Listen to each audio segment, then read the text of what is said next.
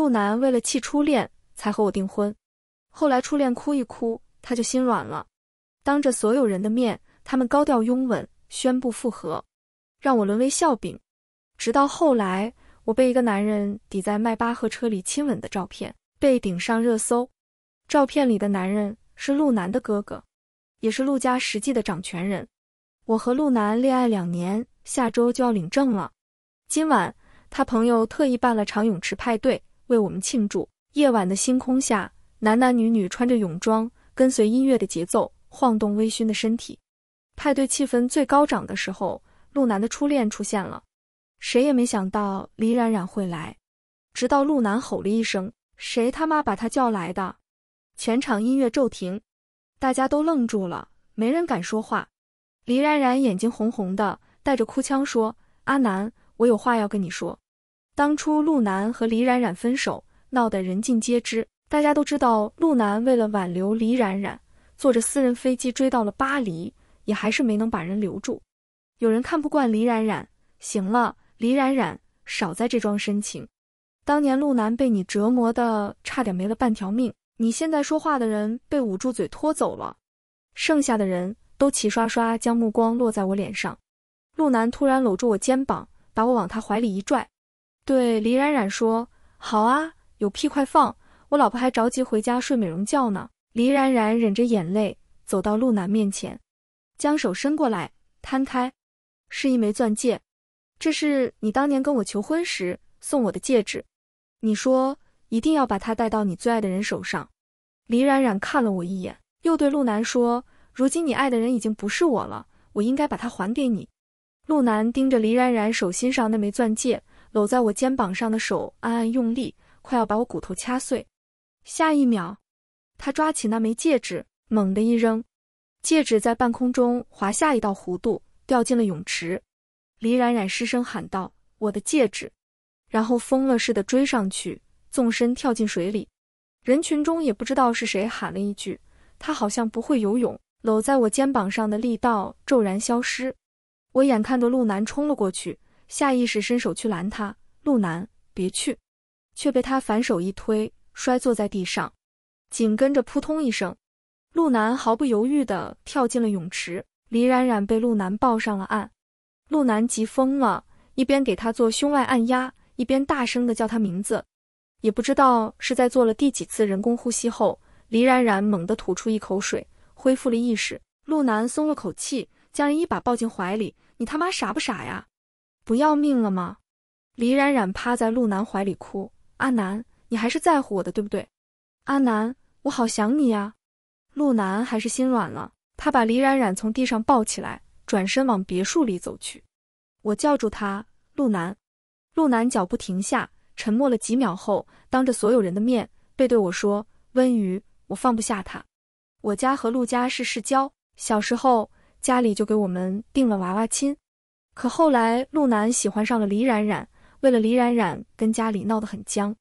要不是李冉冉当年为了追求梦想把陆南抛弃了，他们这会儿应该已经结婚了。两人分手后，陆南为了气李冉冉才跟我订婚的。他以前不喜欢我，后来他出车祸差点瘸了，是我鼓励他陪他复健，熬过那段万念俱灰的日子。情人节的时候，陆南说他喜欢我，我们开始正式约会。他会送我花和礼物，为我燃放生日烟火，甚至有一次我被人欺负，陆南知道后差点没把对方打死，但那又怎么样？陆南还是放不下李冉冉。两天后，陆南给我打了通电话，电话那头他沉默了很久才开口：“温瑜，我们领证的事再等等好吗？”我也沉默了很久才说：“不好，陆南，我不想和你结婚了。”这件事很快传到了双方家长那边，我的电话快被打爆了。我爸把我骂得狗血喷头，威胁我说：“如果这次和陆家的合作出了什么差池，我饶不了你，没用的东西，跟你那个死妈一样废物。”我妈已经去世十五年了，我爸还是有事没事的，就把我和我妈骂一顿。倒是陆南的妈妈安慰我说：“小鱼呀，我知道一定是陆南惹你生气了，你别跟他计较，我一定帮你训他。”他好像知道了李冉冉的事，挂电话前还特意强调说：“小鱼，你放心，陆家只认你这个儿媳妇。陆南这个人一身反骨，陆妈妈管不住他，所以在陆氏的周年晚宴上，他全然不顾我在场，把李冉冉公然带在身边。趁着我落单的时候，李冉冉主动跟我说话，他把无名指上的戒指亮给我看。阿南那晚在泳池里找了很久才找到的，很庆幸他又戴在了我手上。我盯着那枚在水晶灯下闪闪发光的钻戒，微微一笑，恭喜。其实那晚陆南在泳池里翻找戒指的时候，我就站在别墅二楼的落地窗前看着。那天夜里下了很大的雨，陆南找了多久，我就看了多久。后来雨停了，戒指找到了，我的心也死了。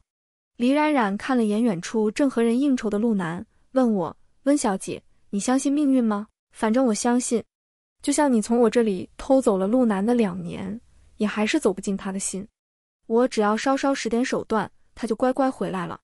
我不动声色问道：“李小姐有话直说，不必绕弯子。”李冉冉看着眼前用酒杯层层罗列起来的高架，冲我得意一笑：“还真有件事需要温小姐帮忙。”可还不等他说是什么忙，我已经伸手推了他一把。刹那间，所有装有香槟的酒杯经李冉冉这么一撞，全都摔在地上，洒了他一身。李冉冉错愕地看向我，我笑说：“与其被你污蔑，说我推倒你，还不如我自己动手，心里更痛快一些。”众人闻声回头，满脸愕然。陆南冲上来，将自己的西服外套脱下来，罩在李冉冉身上，回头冲我吼：“温瑜，你有病吧？”我问陆南：“如果我说……”是李小姐请我帮忙推倒他的，你相信吗？陆南看我的眼神像是在看疯子，场面僵住，直到我身后传来一个男人的声音：“我相信。”旁边有人在低声议论：“这陆家的太子爷怎么突然从国外回来了？”“是啊，难道是要回来正式接管集团的？”我回头看见一身黑色西装的陆晨正朝我走来，他是陆南的哥哥，年长陆南六岁。肩上一沉，陆晨将他手臂上搭着的黑色风衣披在我身上。这里冷气足，穿抹胸礼服也不怕生病。我感激地看了他一眼。陈哥哥是什么时候回来的？小时候叫惯了陈哥哥，长大以后也没改口。他语气沉稳，刚到，从机场直接过来的。李冉冉不知是什么时候被陆南扶起来的，此刻像个没骨头的人，软软的依偎在陆南怀里。陆晨瞥了眼李冉冉，对陆南说：“还要在这丢人现眼？要说这世界上谁能压住陆南，也就只有陆晨了。但凡陆晨在的地方，周围气压都极低。坦白说，我也有点怕他。”陆南不敢顶嘴，他扶着李冉冉，在众人的目送下狼狈离开。陆晨先是和陆爸陆妈打了声招呼，之后他将我带离晚宴，银顶加长版的迈巴赫。就停在庄园的院子里。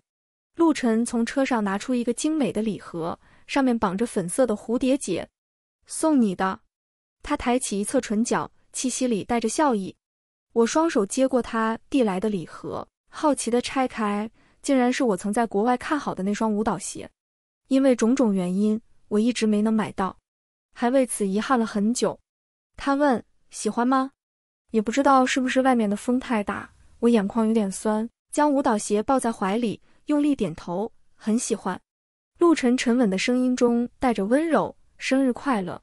我的心像是被什么狠狠一撞。我以为没人记得今天是我的生日。谢谢你，陈哥哥。他从定制烟盒里抽了根烟出来，点燃。陆南和那女人的事我都知道了。作为陆南的哥哥，我替他向你道歉。我摇摇头，他是他，你是你。两回事。陆晨吁了口烟，隔着灰白的烟雾望向我。小姑娘长大了，说话都和以前不一样了。他掸了掸烟灰，路灯下暗影的眼底瞧不出情绪。他突然问我想不想报复陆南。我嘴快于脑，反问怎么报复。这时，陆南从宴会场出来，站在庄园的门口喊我温瑜。我闻声转头，几乎同时，一只手扣住我的腰。陆晨将我摁在他怀里，宽厚的手掌掐住我后颈，迫使我抬头迎上他的目光，呼吸交融。我闻到了他气息中的烟草香，他脸抚近我，鼻尖几乎挨着鼻尖。我来教你。下一秒，陆晨垂下脸，近乎凶猛地吻住我。我用余光瞥见，陆南疯了一样朝这边奔来，陆晨却没给他任何机会，直接将我带上车，吩咐司机开车。从后视镜里，我看见陆南正追着车跑，最后还是李冉冉从远处追上来，将他拦住。随着车速加快，陆南和李冉冉的身影越来越小，直至在拐角处彻底消失。陆晨问我痛快吗？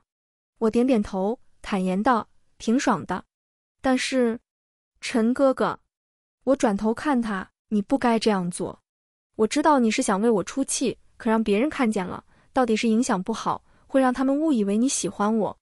陆晨突然抬眸望向我，车窗外橘黄色的路灯照进车里，从他英俊的脸上闪过，让我有了一瞬恍惚。他声音听着沉稳，却又情绪莫测。误会我什么？我被他看得有些不自在，嘴都变得磕巴。误会你和我有什么不正当关系？不正当关系。陆晨一字一句地重复了一遍，眉心蹙紧，眼底浮现出一丝无可奈何。陆晨把我送回了家，一进门，我爸就黑着脸甩了我一巴掌，打得我措手不及。他指着我鼻子骂：“温家的脸都被你给丢尽了，自己的未婚夫带着别的女人招摇过市，你连屁都不敢放，我还能指望你干什么？”我用舌尖顶了顶被打麻的右腮，冷笑道：“所以从今以后，你最好什么都不要指望我，我只会给你添堵。”我爸被气得用手捂住心口，后妈赶紧上去扶着，帮腔道：“哎呀呀，你这说的都是什么混账话？你爸爸养家容易吗？你也不知道心疼他。”我也没惯着后妈，反驳道：“你心疼他，那就让你女儿嫁进陆家好了。”哦，对，我差点忘了。你女儿上次勾引富二代，豪门没嫁成，还被人搞大了肚子，最后落得打胎被抛弃的下场，早就臭名远扬，陆家是看不上的。后妈被激怒，瞪我道：“你个小贱蹄子，胡说八道些什么？”我笑：“我说的难道不是事实吗？还有你，我妈死后百天都没到，你就大着肚子嫁进来，就那么等不及吗？你女儿落得这样的下场，也是活该。”这就叫上梁不正下梁歪，我爸彻底黑了脸，后妈更是冲上来要打我，却被门铃声打断。保姆说是陈少爷来了。陆晨从一进门就察觉到屋里气氛的异常，我爸拼命假笑：“小陈来了。”后妈拼命装贤德：“陈少爷这时间过来，吃过饭了吗？”只有我站在那低着头，不想被他看见脸上的巴掌印，嫌丢人。陆晨三言两语敷衍过他们后。对我说：“温瑜，你东西落在车上了，方便出来取一趟吗？”我跟着陆晨出了门，他站在别墅门口，将手里那个绑着粉色蝴蝶结的袋子递给我。舞蹈鞋落在车上了，我怕他误会我不珍惜礼物，连声解释：“抱歉，我不是故意的，是刚刚下车太急，不小心忘的。”他却答非所问：“脸还疼吗？”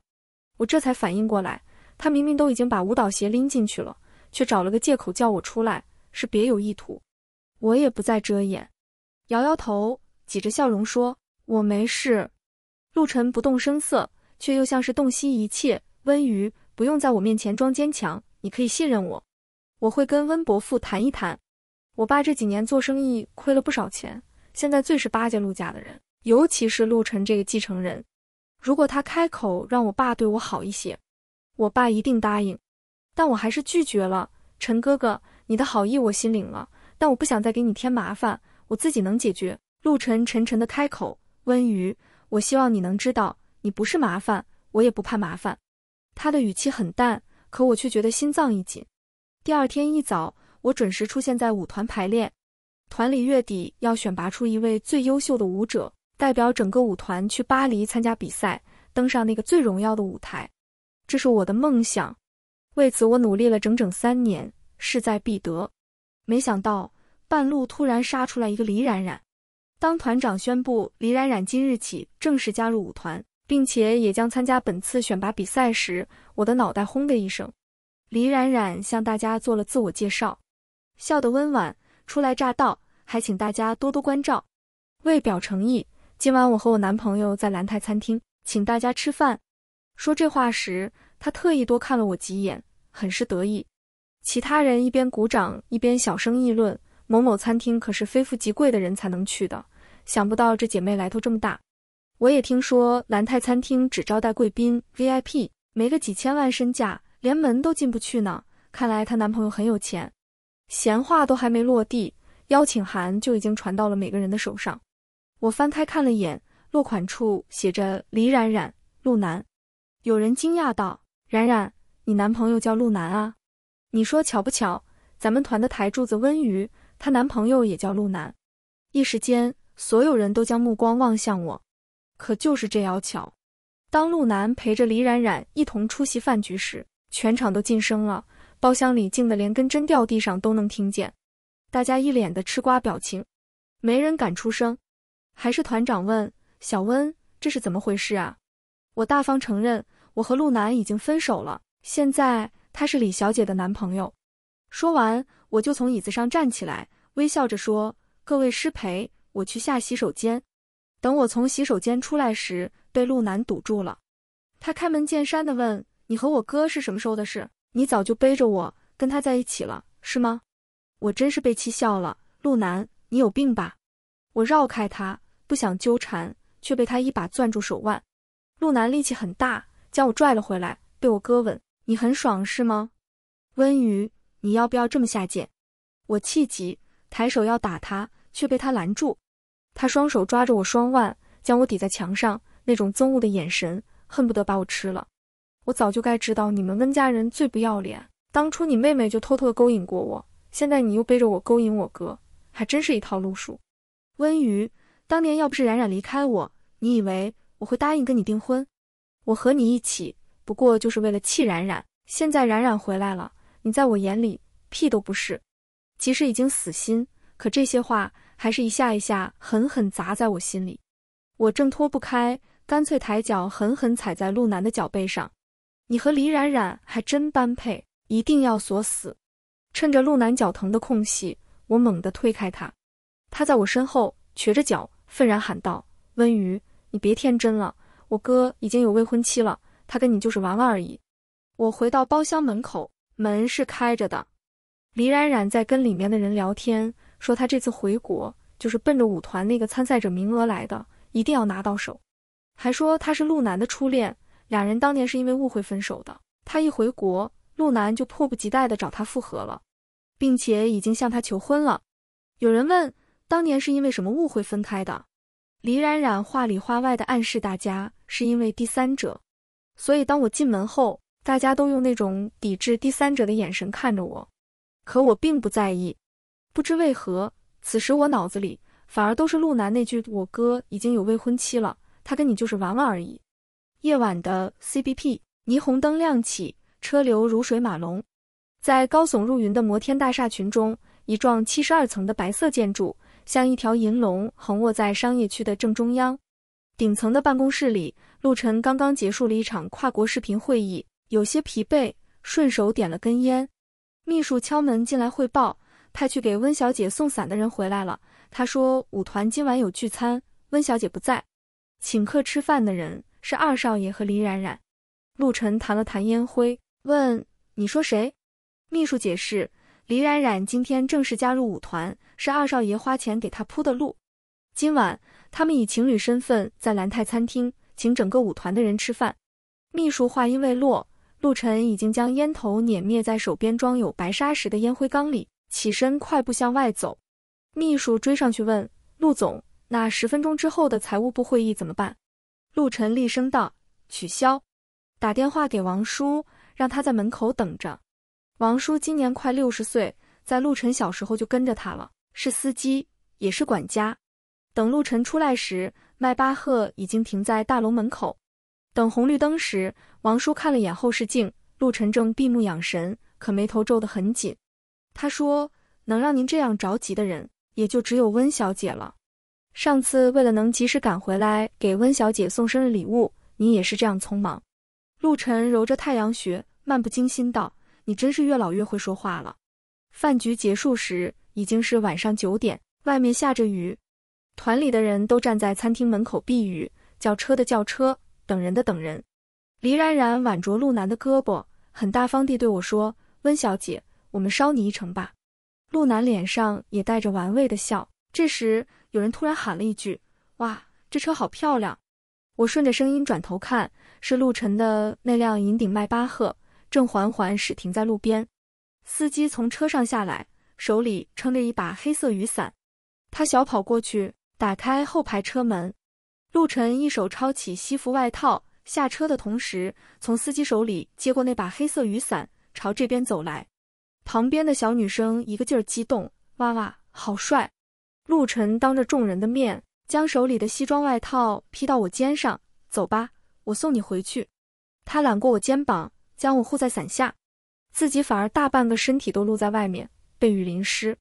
我看见陆南攥紧了拳头，却不敢吱声。迈巴赫都开出了好远，我才回过神，惊讶地问陆晨：“你怎么知道我在这？”陆晨懒懒地笑了下：“刚好路过舞团，听人说你们今晚在这聚餐，就来碰碰运气。”雨越下越大，雨刷在挡风玻璃上来回摇摆，街边的霓虹灯也变得越来越模糊。陆晨突然问我：“温瑜，你还喜欢陆南吗？”这话他曾经问过，大概是某年的春节，那会儿我刚和陆南订婚。陆晨从国外回来过年，我当时回答他说喜欢，因为陆南是在我妈去世那年，在我最无助的时候，第一个递给我棒棒糖、给我温暖的人。但今晚，我看着车窗上雨滴错落有序的落下，坚定的摇头说不喜欢。我将目光从窗外收回来，转眸看向陆晨，冷静又认真道：“可我也不会喜欢一个有未婚妻的人。”陆晨总是这样巧合的出现，一次两次的替我出头。我不是傻子，即使陆晨很优秀，我的自尊也不允许我装傻，自甘堕落到去做个没名没分的情人。陆晨皱着眉头，什么未婚妻？谁有未婚妻？我被问的有点懵。陆南说：“你已经有。”魏陆晨打断我，直截了当道：“没有。”他言简意赅：“我的婚事谁也做不了主，必须我自己点头。所以温瑜，他唤我名字时，我心跳都快了一拍。”你可以考虑，我问考虑什么？陆晨的眸光像最深的湖水，盛满深情，满满当当，似欲溢出来般。考虑我，因为陆晨的一句考虑我，我一宿都没睡着觉，心突突的跳。当初和陆南订婚时，我都没这么紧张过。快天亮了，才勉强睡了一会儿。第二天等我到舞团时，都已经中午了，在更衣室里碰见了李冉冉，她刚练完舞。额头上还有没消去的汗，主动跟我说话。听说温小姐很看重这次的比赛，很巧，我也是。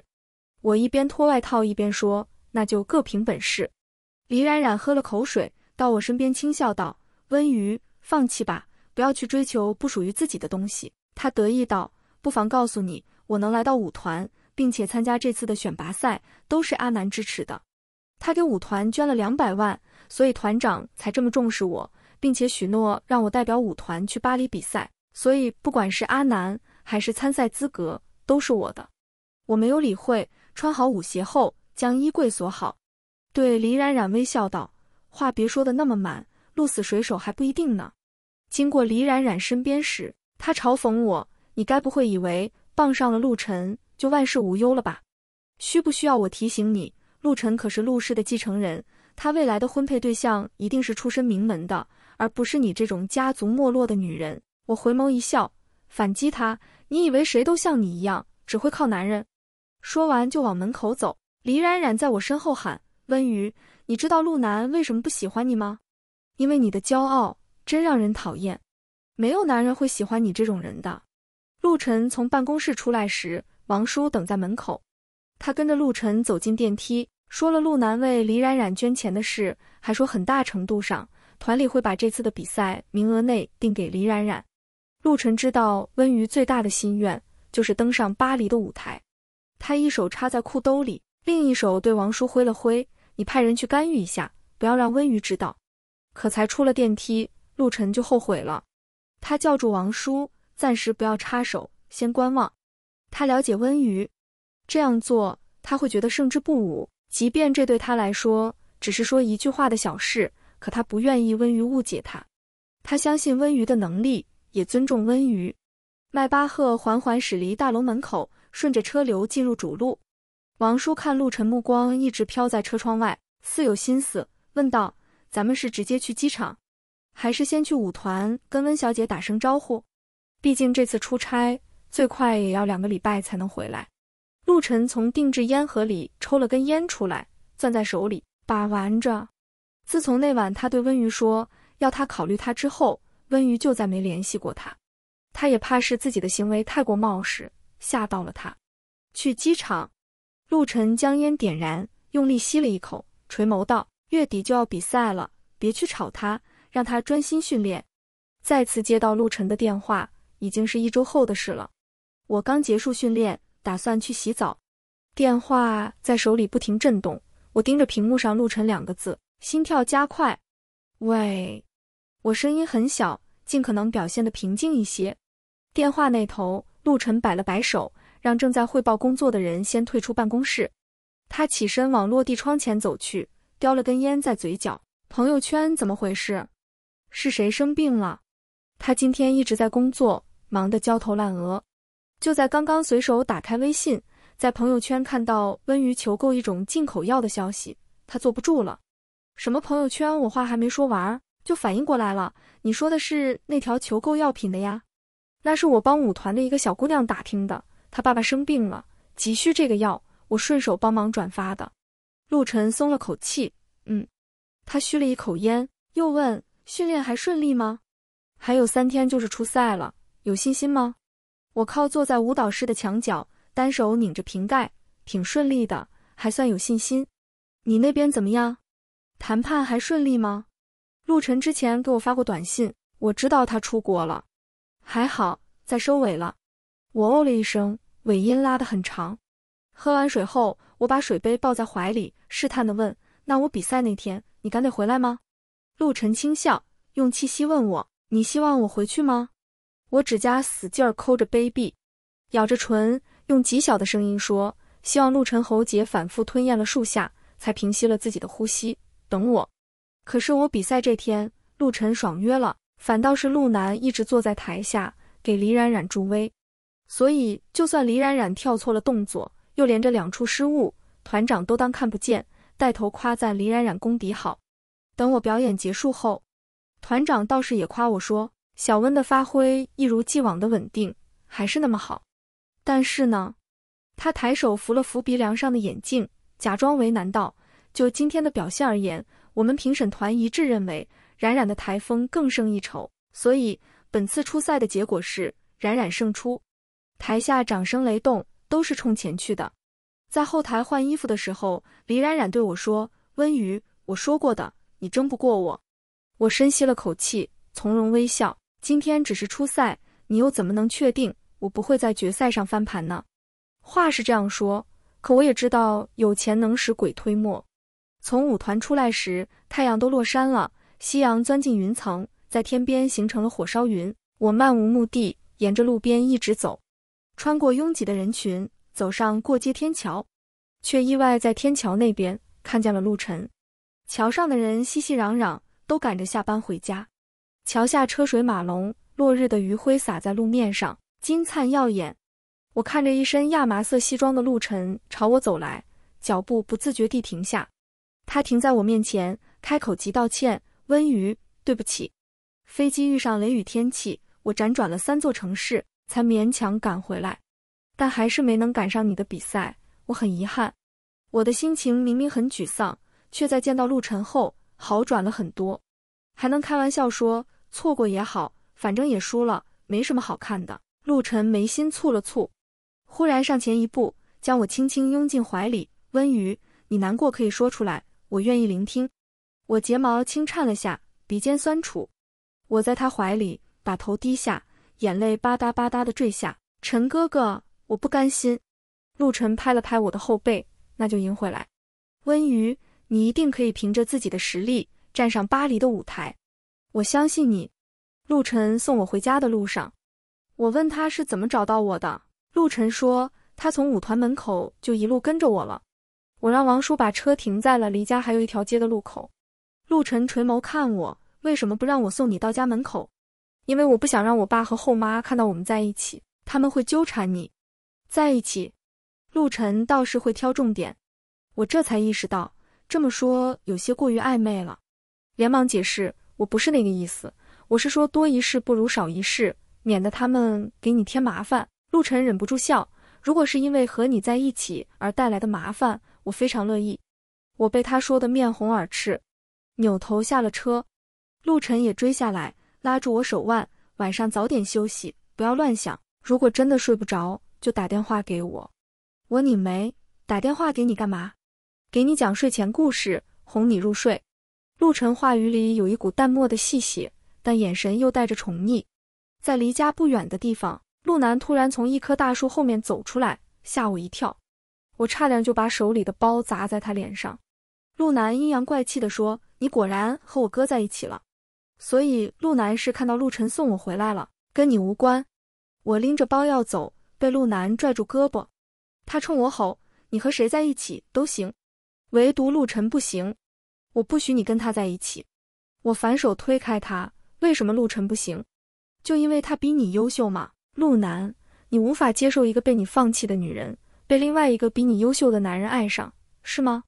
你认为我就该在被你抛弃后痛哭流涕，终日以泪洗面，然后三天两头的跑去找你求复合，求你爱我，是这样吗？我情绪激动，连说话的声音都在发颤，对陆南发泄着我的不满。陆南一脸难以置信的盯着我，温瑜，你变了，你以前不会这么大声的和我说话。我冷笑。我从来没变过，是你从未真正了解过我。陆南眸子里凝聚着一丝怨毒。温瑜，你也别把自己看得太重要了。就拿今天出赛这件事来说，明明就是我哥一句话的事，便能扭转局面，让你轻松赢得比赛。可他没有，你知道为什么吗？因为你在他心里还没有那个分量，你只是他在寂寞时养在身边的玩物，跟阿猫阿狗没区别。我问陆南，所以呢？你大半夜跑到这跟我说这些，用意是什么？陆南，你可千万别说你在吃陆晨的醋。陆南像是被戳中了心事，很夸张的冷笑一声，用不可理喻的眼神盯着我。温瑜，你少自恋了。我来就是想告诉你，我一定会帮冉冉拿到去巴黎的机会。你输定了。决赛的前一天，陆晨拨了通电话，是打给刚从巴黎飞过来。给国内各大舞团做决赛评委的 Andrew，Andrew 是个四十岁的法国男人，中文很棒。陆晨与他是旧识。接到陆晨电话时，Andrew 很意外。两个人寒暄一番后，陆晨直入主题：“Andrew，我打给你是有件事想请你帮忙。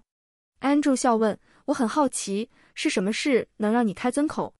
陆晨倒了杯威士忌，靠坐在沙发上。跟 Andrew 讲述了一些关于温瑜以及舞团的事。Andrew 听完后很愤怒，他这人最讨厌不公平。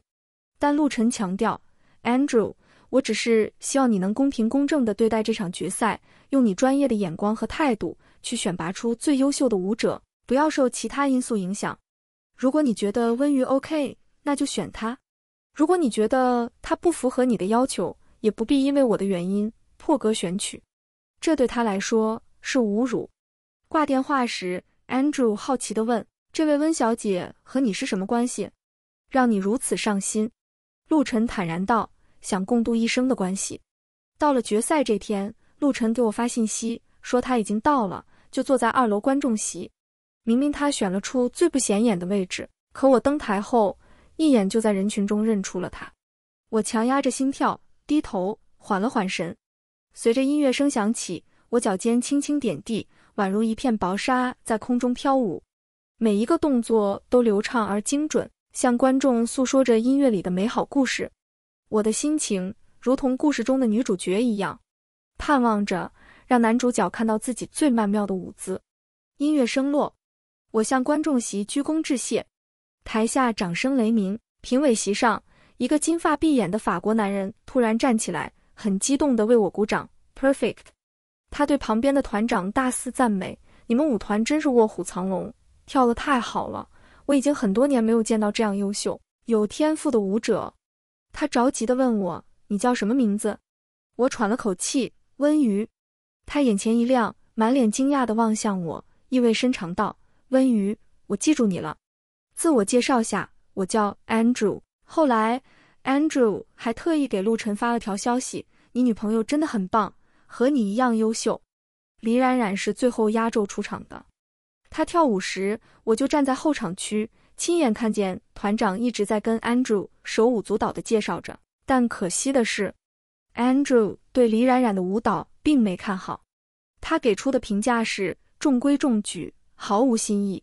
李冉冉听完，气得差点没摔倒在台上。Andrew 是巴黎那边派来的人，拥有绝对的话语权，团长自然也是要给他面子的。最后的结果可想而知，我赢了。Andrew 亲自将大赛邀请函交到我手上，我将代表舞团去巴黎参加国际芭蕾舞比赛，站在那个至高的舞台上跳舞给全世界看。等我换好衣服，从后台来到观众席时，已经找不见陆晨的身影。我给他打电话：“你是已经走了吗？”陆晨笑了笑：“没有，我在 B 三等你。”我立刻转头往电梯间飞奔。着急地说：“我马上下来，你站在那不要动。”等电梯时，陆南又出现了。这次他没讽刺我，反而称赞道：“你今天跳得很好，像是白天鹅一样，站在台上发光发亮。”我一边看着电梯显示屏上跳跃的数字，一边敷衍他：“谢谢夸奖，但是这些话你还是留给李冉冉吧。”终于，电梯门打开，我迫不及待地往里冲，陆南却挡在我面前。他攥住我手腕，用一种很熟悉又很陌生的眼神看我。温瑜，如果如果我离开冉冉，你还愿不愿意回到我身边？我皱眉。陆南，你是精神分裂吗？他拉着我还要说什么，被追出来的李冉冉给拽住。阿南，你这是在做什么？你是看到温小姐在台上发光的一面，被她吸引，后悔跟我在一起了吗？我没空跟他俩鬼扯，趁机甩开陆南，冲进电梯。我的心像是被扔进了沸水中，不断沸腾。此时此刻，想见陆晨的心已经达到了极点，所以电梯门弹开的一刹，我顺从内心，直奔向陆晨。他正站在车旁抽烟，见我往这边跑，他几乎同时张开双臂，将我稳稳接在怀里。我等不及要跟他分享，抱紧他，笑着说：“陆晨，我赢了。”陆晨揉了揉我的头发，我知道。他将我从怀中扶正，那双眼明亮如星辰。我带你去个地方。我没想到陆晨竟然带我来看音乐会，还是我最喜欢的那个乐团。两个月前，乐团来内地巡演时，我因为在外地没能及时赶回来，遗憾错过。可他们不是已经去别的国家巡演了吗？怎么会突然又返回内地？直到演出结束，乐团的人在台上站成一排，当众宣布今晚的音乐会。是为温小姐而奏响，然后一束追光自我头顶亮起，两个金发碧眼的小花童合力捧着一束娇艳的粉色玫瑰，他们跑到我面前，冲我天真的笑，用半生不熟的中文说：“恭喜温雨姐姐决赛胜出。”我欣喜若狂地从他们手中接过花束，感慨他们的可爱，真诚向他们道谢：“Thank you。”台上有人拿着话筒说。今晚这场演出收取的所有门票费用，都将以温雨小姐的名义无偿捐赠给山区儿童，同时感谢陆晨先生的慷慨赞助。至此，本场演出圆满落幕，全场掌声骤然响起。我和陆晨站在观众席中央，被几千人瞩目。我看着他，已经激动得说不出话来。舞台上绚丽的灯光自他身后照过来，让他整个人镀上一层金色。我从他的瞳孔里看到了一个笑容灿烂的姑娘。从剧场出来后，我们去了江边。我怀里捧着那束粉色玫瑰，问陆晨：“你怎么知道我今晚一定会赢？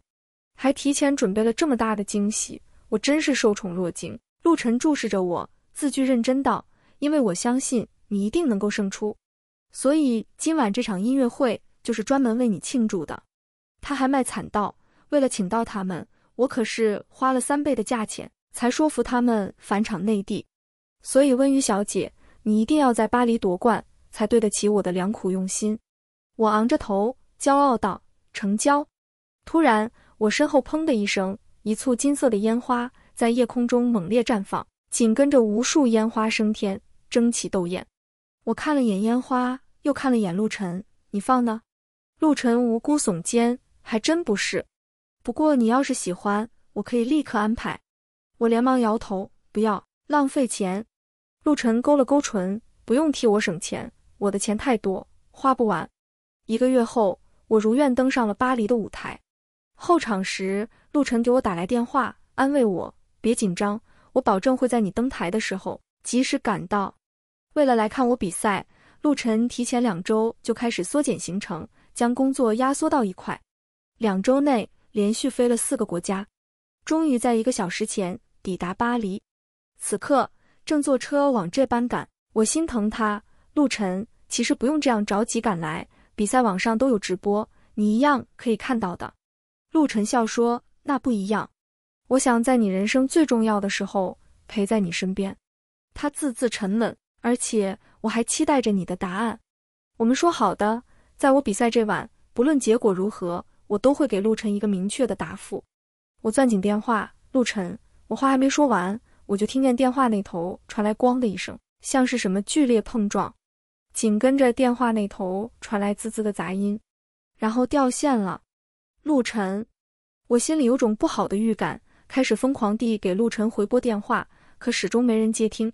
就在我近乎崩溃的时候，电视屏幕上突然插播了一条新闻：因为跨江大桥突然断裂，导致发生了严重的连环车祸，还有车坠下江面，车里的人生死未卜。救援队已经赶到现场，正在紧急救援，望广大市民悉知，绕路而行。我双膝一软，伸手扶住墙面。才没倒下去。我看着电视上的现场直播画面，无数辆车环环相撞，甚至还有车倒挂在断裂的桥面上，随时都会掉下去。忽然间，我心疼的像刀绞一样，眼泪不住的往下流。就在这时，工作人员跑到我跟前，对我说：“温瑜，下一个就是你，准备登台。”我像是提线木偶一样，被他拉着往前走，却在下一秒猛地挣脱他的手。转身疯了似的往外奔，完全不顾身后的人在追赶，在呐喊：“我要去找陆晨！”赶去事故现场的路上，我一直不间断地给陆晨打电话，可就是打不通。我不停催促司机快点，可因为事故突发，周围的路都被堵死了，我只得自己半路下车，像个疯子一样在人群中奔跑。我已经记不清撞了几个人，又被撞倒了几次，一直都在不停地道歉，道歉。终于，我赶到了现场，可现场有警察守着，不让我进。我就一边哭一边用别扭的法文跟当地的警察交流，请求他们放我进去。我的爱人在里面，可他们根本听不懂我说话，一个劲儿的往外推我，还大声吼我。我急得直哭，站在大街上，站在拥挤的人群里，无助的到处张望，泪流满面，直到听见陆晨喊我温瑜，我猛地回过头。看见陆晨就站在人群里，他身上沾着灰尘，额头上还有未干涸的血迹，他的腿好像受伤了，站在那有些吃力。就这样隔着不远不近的距离，我们静静地望着彼此，谁都没说话。在我们周围，有人奔跑，有人呼喊，有人大声的哭，还有警车、救护车的灯光来回闪烁。我迎着交杂的一切，蓦地奔向他，只是短短几步。我却好像拼尽全力，陆晨用力的、沉稳的将我接住，他抱住我的力道几乎要把我的腰折断。我双手捧起他的脸，仔细检查着，确定他只是额头受了些皮外伤后，也不知是欣慰还是心疼，哭得更厉害。他轻抚我的脸，替我擦眼泪。我抬眸看他，也分不清是谁主动，谁更急切。我们不顾一切地吻上彼此。后来，陆晨问我，那晚我选择放弃比赛，奔向他，后悔过吗？我回答的斩钉截铁，我不后悔。比赛今年错失，三年后可以再去。可如果陆晨有什么事，我会遗憾终身。好在陆晨乘坐的那辆车虽然被撞翻，可他也因此捡回条命，否则冲下大桥的就是他了。半个月后，陆晨身体大致康复，正式将我带回了家。陆妈妈和陆爸爸看见我们紧牵住的手，一下就什么都明白了。陆爸爸没说什么，倒是陆妈妈激动得热泪盈眶，拉着我的手就说：“小鱼呀，你终于是我的儿媳妇了！快，我们立刻马上去选日子，免得夜长梦多。”我哭笑不得，眼神望向陆晨求助，他却表示同意。我也这样觉得，早办早好。回国后的第三周，我去到舞团。正式辞职。我打算成立自己的舞蹈工作室，为三年后的巴黎舞蹈大赛做准备。团长挽留我，被我婉拒。在更衣室整理东西的时候，李冉冉来了。他也是来收拾东西的。温瑜，你赢了。我没想跟他纠缠，收拾的差不多了，就打算走了。李冉冉追上来，挡住我的路。温瑜，我和陆南分手了。这倒是让我有点惊讶，忍不住嘲讽他几句。没事，你哭一哭，他就心软了。这次不一样。李冉冉自嘲的笑了声。我们分手的原因是他在喝醉的时候喊了你的名字。我跟他吵，跟他闹，他厌倦了。他跟我亲口承认的，说他后悔了。他看见你和陆晨在一起，很痛苦。他怨我破坏了你们，说你原本都要嫁给他了。现在说这些一点意义都没有，我也不在乎。你说完了吗？说完就请让开，陆晨还在等我。李冉冉被我撞了下肩膀。被迫让路，可还是不甘心地冲我喊道：“温瑜，你现在很得意吧？陆家的两个兄弟都为你痴狂，你多了不起呀！”我停下脚步，回头看他，笑着说：“这还不是多亏了你，要不是你及时回来，破坏了我和陆南，我还没办法嫁给更优秀的陆晨呢。”李冉冉，谢谢啊！见我从舞团大门出来，王叔主动下车，从我手里接过收纳箱。上车后，我对他道谢。他笑说：“少夫人客气了。”少夫人，我看了眼坐在旁边的陆晨，他笑容愉悦，吩咐王叔把挡板升上。王叔的笑容更加隐晦。挡板升起，将驾驶舱和后面分隔开，形成两个独立的空间。陆晨一把将我拽进怀里，我跨坐在他腿上，他一抬头，我一低头，他的薄唇刚好擦过我唇角，像一股电流从我体内窜过。使我浑身酥麻，温瑜，我心悦你，在很早很早以前就心悦你。我还没消化好这句话，陆晨的唇就已经贴了上来，他滚烫的掌心贴在我腰窝，搂紧，让我的身体更加与他贴合。我的呼吸连着心跳一起乱了，直到我被陆晨抵在迈巴赫车里的亲吻的照片被顶上热搜，引爆全网，我才知道他是故意的。他说：“这叫昭告天下，我是他的。”